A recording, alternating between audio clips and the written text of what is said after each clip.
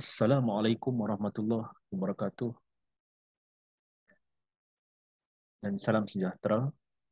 Pada hari ini saya akan membentangkan satu pembentangan artikel yang bertajuk Peranan Polis di Raja Malaysia dalam menangani wabak COVID-19 ketika Perintah Kawalan Pergerakan, satu kajian konseptual.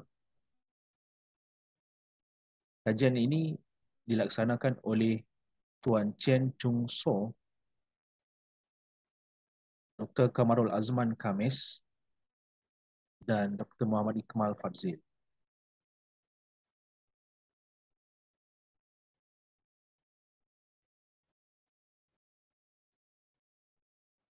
Pengenalan wabak COVID-19 mula dikesan di wilayah Hubei, China pada Disember 2019 dan telah menjadi pandemik yang terus merebak ke 224 negara di seluruh dunia WHO 2021.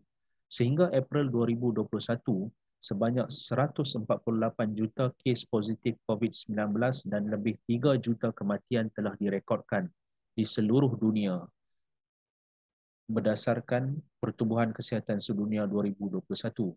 Sebagai tindak balas kepada wabak yang menjejaskan keseluruhan kesihatan global, Pertubuhan Kesihatan Sedunia WHO mengesyorkan agar semua negara yang terjejas melaksanakan sekatan atau sekatan pergerakan sekurang-kurangnya 50 negara di seluruh dunia telah melaksanakan perintah kawalan pergerakan secara keseluruhan atau sebahagian termasuk Malaysia WHO 2021 sehingga 29 April 2021 Malaysia telah merekodkan 405,000 kes positif COVID-19 di mana 376 juta telah pulih dan 1,492 telah meninggal dunia. Kementerian Kesihatan Malaysia 2021.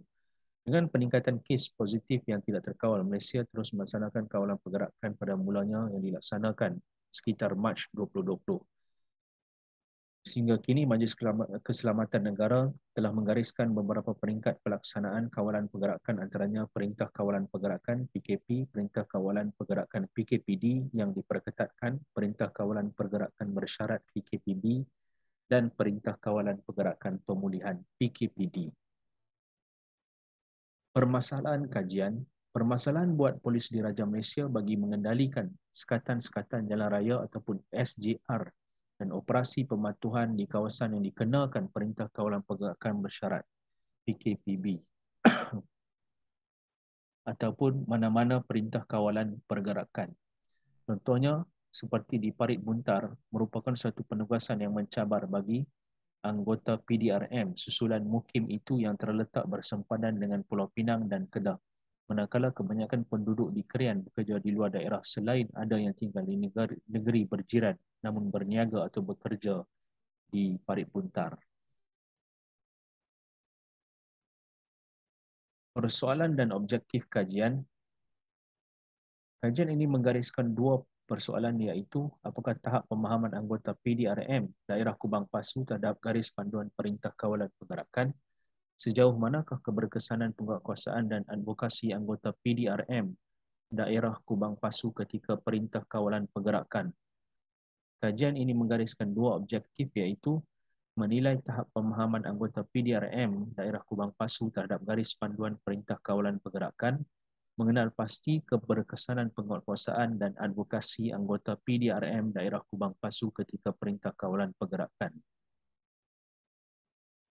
Kajian literatur, pegawai yang dilantik untuk mengetuai misi juga menghadapi cabaran seperti memperkukuh pasukan keselamatan sendiri dari segi pengagihan beban kerja kepada anggota dan faedah mereka. Kajian ini bertujuan untuk meneroka peranan yang dihadapi oleh polis dan anggota dalam menguatkuasakan perintah kawalan pergerakan sepanjang penularan wabak COVID-19. Kajian ini adalah yang pertama meneroka peranan polis di Raja Malaysia sebagai barisan hadapan dalam menangani COVID-19 di Malaysia. Penerokaan ini mempunyai implikasi penting untuk menambah baik perancangan dan pelaksanaan penguatkuasaan undang-undang dalam situasi kecemasan. Polis kini menggunakan peruntukan akta kanun keseksaan bagi mendakwa individu yang melakukan kesalahan ketika ditahan di sekatan jalan raya. Pendekatan tegas itu diambil kerana Kesalahan segelintir individu tidak termaktub dalam peruntukan Akta Pencegahan dan Pengawalan Penyakit Berjangkit 1988 Akta 342. Dalam memastikan perintah pergerakan kawalan PKP dipatuhi, pasukan keselamatan memainkan peranan penting untuk mendisiplinkan orang ramai dalam usaha memutuskan rantaian COVID-19. Merancang tindak balas polis terhadap COVID-19 adalah sangat penting untuk ditangani berdasarkan isu-isu yang berkaitan dengan kesediaan, tindak balas dan pemulihan dari wabak. Kepentingan perancangan juga terletak pada risiko reputasi yang berpotensi oleh polis semasa tindak balas terhadap wabak itu dan mengetahui bahawa langkah-langkah yang diambil hari ini akan berlaku memberi kesan kepada hubungan masa depan antara polis dan penduduk selepas wabak tersebut. Polis juga harus melihat kesan secara relevan daripada wabak COVID-19 dan menyediakan tindak balas terhadap kedudukan yang lebih baik dan meningkatkan perkhidmatannya kepada penduduk seperti kaedah advokasi. Tubuhan Kesihatan Sedunia 2020. Advokasi informasi pandemik yang ditujukan akan lebih berkesan kepada masyarakat. Mesej haruslah jelas dalam menerangkan ancaman dan memberikan advokasi panduan mengenai apa yang harus dilakukan oleh orang ramai sekiranya berlaku kecemasan. Tubuhan Kesihatan Sedunia 2020. Dari segi teorinya, keberkesanan penguatkuasaan dan advokasi oleh pihak polis diraja Malaysia dapat dilihat daripada perspektif tingkah laku anggota-anggota yang menjalankan penugasan penguatkuasaan dan advokasi khususnya dalam meningkatkan tahap keselamatan jalan raya. Teori tingkah laku terancang, plan behavior daripada Ishak Azzain 1975. Teori ini mengandungi tiga intipati menghubungkan niat dan kenapa tingkah laku itu terjadi. Intipati pertama adalah sikap terhadap tingkah laku itu sendiri, attitude toward behavior, dengan melihat penilaian, positif atau negatif. Contohnya, adakah tindakan penguatkuasaan dan advokasi kepada pengguna jalan raya ketika perkara menguntungkan atau merugikan. Semua intipati teori ini akan membentuk satu garisan iaitu niat, intention untuk melakukan penugasan penguatkuasaan dan advokasi secara berkesan. Kerangka konsep metodologi kajian berbentuk kualitatif secara tematik ini membolehkan responden memberikan maklum balas secara menyeluruh daripada soalan-soalan yang diberikan Creswell 2000. Oleh demikian, kajian ini menggunakan kaedah kualitatif dalam mendapatkan data yang seperti yang disarankan oleh Gade and Air Asian 2000. Kajian ini menggunakan kaedah kualitatif dengan menggunakan teknik temu bual mendalam dengan menggunakan teknik persampalan bertujuan. 10 informan iaitu anggota dari Polis Diraja Malaysia telah dipilih. Seramai 8 informan adalah lelaki dan 2 informan adalah wanita yang berusia di antara 27 hingga 55 tahun. Termasuklah 4 pegawai dan 6 anggota.